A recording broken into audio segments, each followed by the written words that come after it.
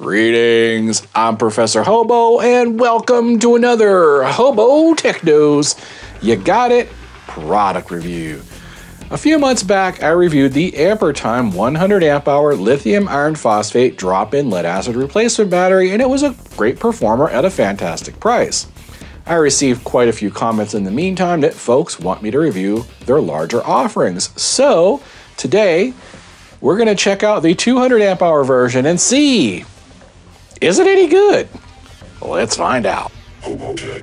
Now, this AmpereTime battery is a 12 volt, 200 amp hour, or 2560 watt hour lithium iron phosphate battery using grade A cells, good for at least 4,000 cycles or 11 years if cycled daily. As for size and weight, it's approximately 21 by 8 by 9 at around 46 pounds. Now the BMS inside this AmpereTime is a 100 amp or 1280 watt hours and that rate is for both charging and discharging, meaning you can pump 1280 watts in and get 1280 watts out. Now as for the ability to series or parallel these batteries together, this supports a 4S 4P configuration, which is 4 in series and then that 4 times in parallel for a maximum of 48 volts at 800 amp hours or 41 total kilowatt hours of capacity.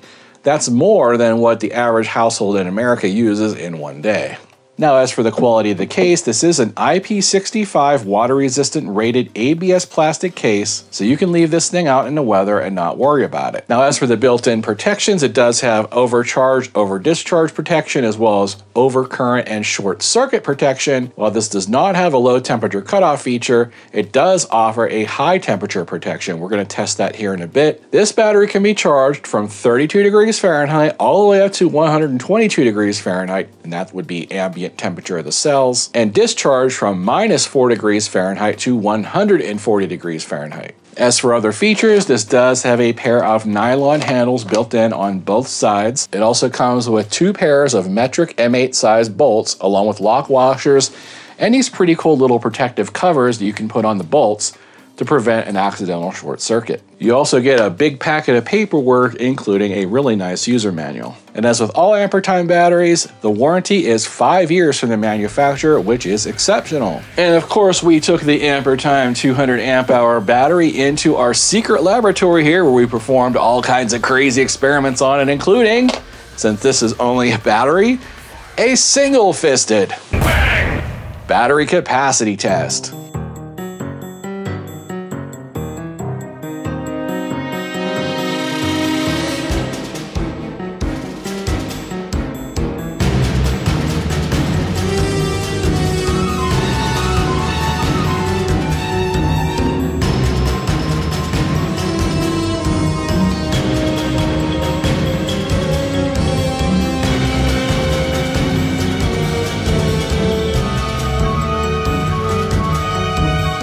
As you can see from the results of the battery capacity test, the ampere time scored 210 amp hours out of 200 or 105% of rated capacity.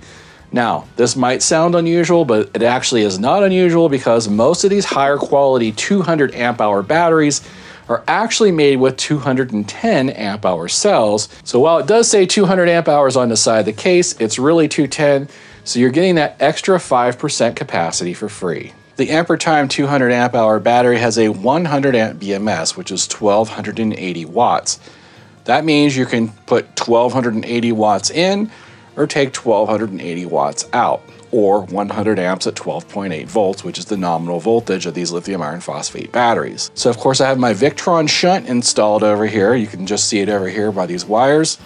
We're gonna go ahead and charge and discharge this battery at its maximum rate, see what happens. Now the first test is gonna be how much can you pull out of the battery before it shuts down? Now, this is where we actually test its surge capability because just because the BMS is limited to 100 amps, it usually allows two or 300 amps for a short period of time. But we want to find out how hard can you push this if you're running an air conditioner or something that has a real high startup load for a few seconds. Can the battery handle it without overheating or breaking or anything like that? So let's do that test first. Okay, we're at 123 amps. Now we're at 200 amps. Let's go ahead and keep increasing it. 300, 350, and then it shut down right around 350. All right, so it looks like it can handle 350 amps before shutdown. Now, what about extended runtime? So, what I like to do is try to test how high can you push it for five minutes before it shuts down? Let's try 300 amps at first, and if that doesn't make it, we'll go ahead and keep turning it down until we get the amount of amps it can run for five minutes without shutting down. All right, there we are at 300 amps. Let's see how long it can handle it. Now that beeping is because it is pulling a lot of voltage from the battery. It is down to 11.3 volts, and the inverter doesn't actually like that. That goes to show that the BMS itself is struggling with this load, which is, of course, it should be at 300 amps. Well, just continue to go and see how long we can make it. So there we have it, 1 minute 11 seconds. It thermally shut down. So at 300 amps, after about a minute, the battery itself overheated. So since the battery completely shut down, that means we went into thermal overload on the battery. The battery got too hot, so it completely cut off the BMS, and now you have to wait for the battery to cool down before it'll come back on. So let's go ahead and reset the timer and see how long does it take for the battery to cool down. Now the temperature in here is about 66 degrees Fahrenheit, so right around room temperature. Hopefully it won't take more than 15 minutes or so, but let's see. Well, looky what we have here. Just over four minutes it took to cool down. The battery is back online at 13.3 volts. Okay, since we had thermal shutdown at 300 amps, let's try 200 and see if we can run the five minutes. Okay, there we have it, 200 amps. Let's see how long she'll go. So when I say this is overheating, I mean the BMS is overheating and shutting down. I don't mean the battery itself is getting hot. Let me show you what kind of temperatures I'm getting. It's right here in the middle of the battery, 80 degrees. Top of the battery, 78. Positive terminals, 108. Negative terminals, 111. These are all very reasonable temperatures for a battery that just overheated. So just waiting the another minute or so to start this thing back up. There we are at 150 amps. Let's go ahead and start the timer and see how long can it go at 150 amps discharge rate. Here we are, five minutes at 150 amps. We didn't have any issues. It seems like the battery is able to handle that load for at least five minutes. Now the AmpereTime is discharged well below 50% capacity, so let's go ahead and we're gonna reset the clock. And now we're gonna go ahead and test how fast can we charge it. Now it has a 100 amp ability to charge. My ability to charge above 100 amps is pretty limited, so I can do 110 amps tops with my equipment. So let's just go ahead and run it at 110 amps for at least five minutes. Make sure it can charge at at least 100 amps. There we are, about 112 amps. And there we have it. We're crossing the finish line, 112 amps of charging at five minutes, no problems.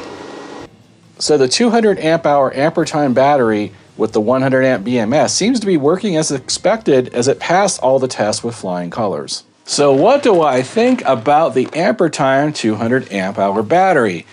Well, just like the 100 amp hour version, there's really nothing to dislike about it.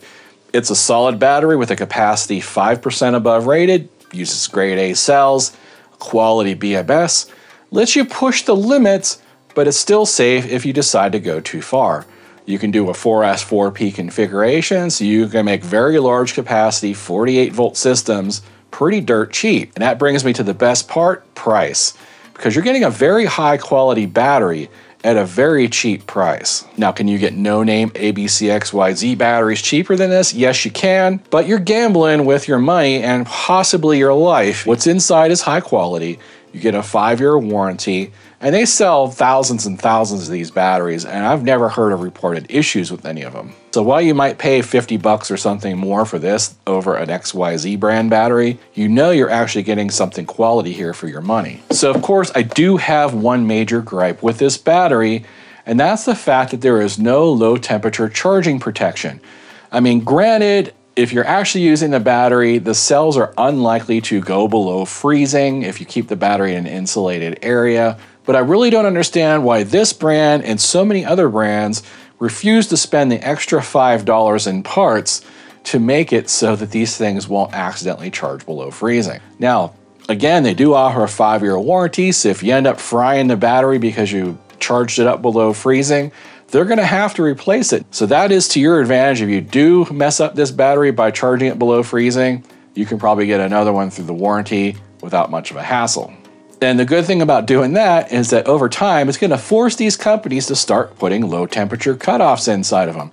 I'm telling you, It's only a couple dollars in parts. I'm not sure why they don't do it. It would be very cheap protection for you, and it would cause probably a lot less warranty returns. If you're worried about blowing up this battery after you get it because you charged it below freezing, there is a solution because AmpereTime sells this exact same 200 amp hour battery with a 100 amp BMS that's heated. And you're going, oh, that's fantastic. I'll just buy that one instead. Do know that it costs 50% more than this. So for to put a heating pad inside and have it run automatically at certain temperatures costs quite a bit more money than just having a low temperature cutoff inside. So if you really need a heated battery and you don't mind paying the premium, I will have a link to that battery in the description below along with a coupon code that'll knock a few bucks off. Now what's the use case for these batteries? Obviously you're not going to drop this into a car. These 100 amp BMSs cannot start vehicles. So don't buy one of these batteries thinking you're going to start a car or something with it. You're not. You could probably run a small trolling motor on a boat, but that's about it. Remember, if you're going to run a constant load on this, it has to be under 100 amps or 1280 watts. Now the recommended inverter size for a single 200 amp hour battery is going to be around 2000 watts. Now I know the output's limited to 1280 watts, but you still want a 2000 watt inverter to handle the surge. So if you're plugging an air conditioner or a refrigerator or something that's got a startup surge, you want to get a slightly larger inverter than the battery can handle. And we've also seen that this can handle surges for up to 300 amps for short periods of time, no problem. So it doesn't hurt to get a larger inverter. Now, of course, you can get multiple of these batteries, hook them in parallel for more amps. And that will allow you to start up much larger loads, run a much bigger inverter. So say you got two of these batteries, that would safely allow you to run 2500 watt loads constantly.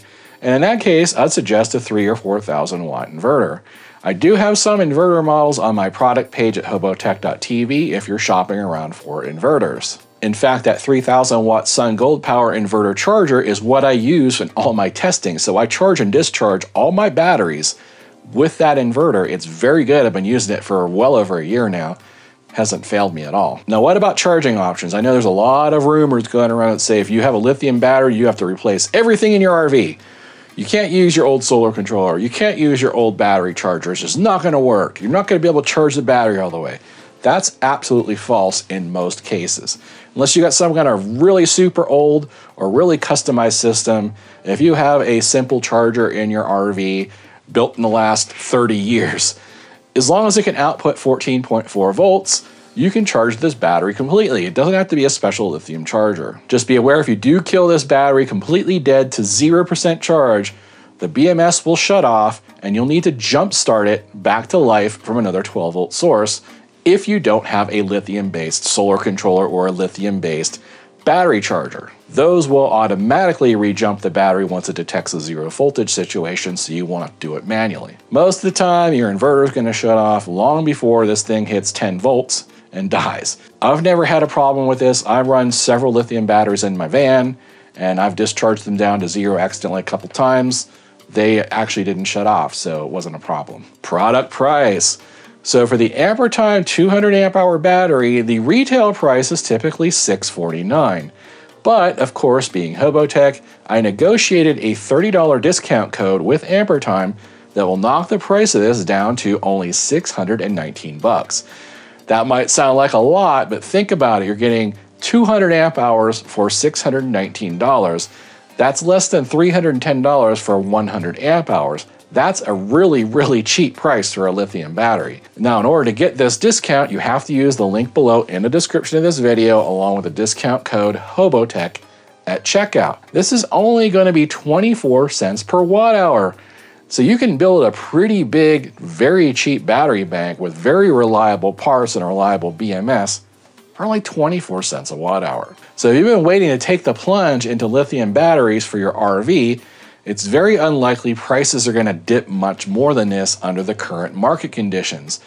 Just like those old beer commercials used to say, it's Miller time, it's Amper time. And I'm going to mention again, since winter is coming, and I missed that meme since the show is over, there is a heated version of this battery available for a significant increase in price. But if you prefer that instead of this one, I have the same discount code will knock $30 off that battery as well.